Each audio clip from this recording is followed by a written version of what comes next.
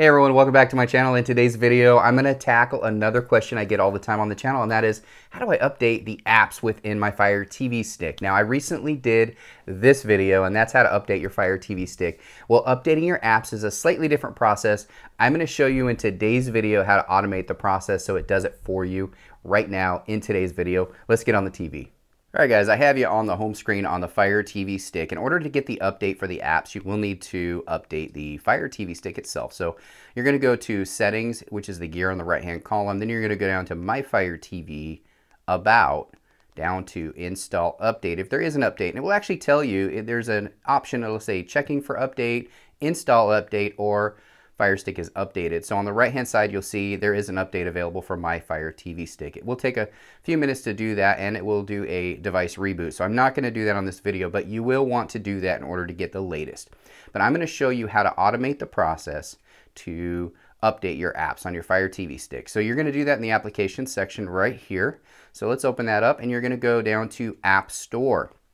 Now this App Store actually has quite a bit to it that a lot of people don't know about where you can turn on and off your automatic updates. I have mine set to on. I do believe out of the box it is set to off. So you're going to want your automatic updates to be on to automate the process. Now you can also see other things like in-app purchases. I can turn this off if this is in a guest room um, in our house or if we're having a lot of kids over, you can turn that off so they don't buy something.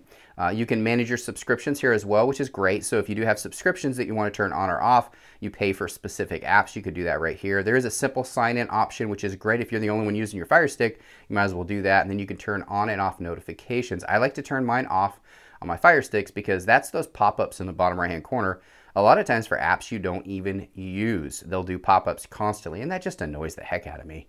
But this is where you do it right here, automatic updates. And there are circumstances where you would not want to automate your updates and that's only if you're using certain third-party apps but any app that you get through the Amazon App Store, you'll definitely want to do automatic updates. And this is where you automate that process.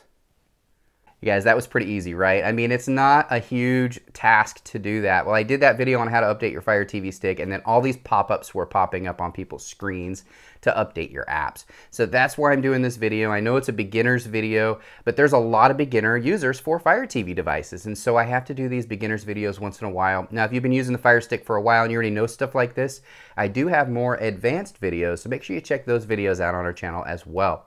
I did want to touch on really quickly before I let you go that this update update, this automation update, works with all Fire TV devices. So whether you have the TV edition, the Cube, the Fire Stick, even older generations, you can do the automation. They did make that available across their platforms.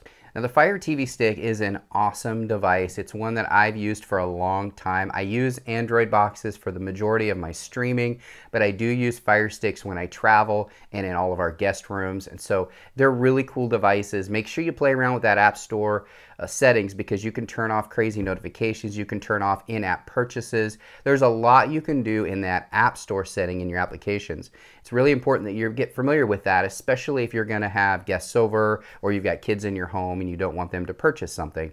You can turn all that off. You can turn off notifications, all that stuff. Hope you enjoyed this video. If you are new to the channel, please do subscribe. If you're a returning subscriber, thanks again for supporting the channel. Bye.